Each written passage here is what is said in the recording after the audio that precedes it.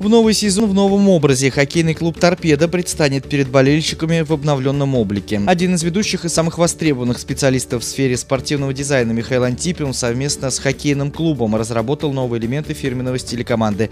Изменения коснулись и формы хоккеистов. В основу вошло использование образа оленя.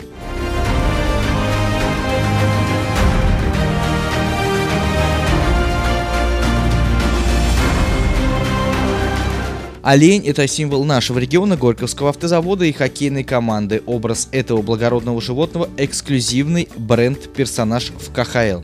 Это животное ассоциируется с красотой, скоростью, свободой, величием. От меня требовалось раскрыть все эти черты в новой айндетике.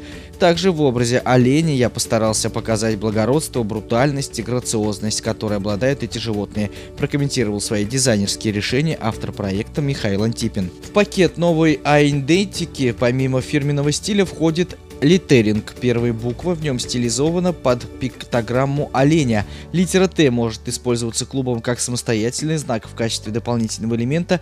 Заметно преобразился и официальный сайт хоккейного клуба. С полудня среды на нем размещен логотип в новом фирменном стиле, фотографии команды в обновленной форме с модернизированной цветовой гаммой и элементами клубного корпоративного стиля. Руководство команды уверено, что работы придется по душе болельщикам и все вместе в новом сезоне мы будем двигаться к новым победам.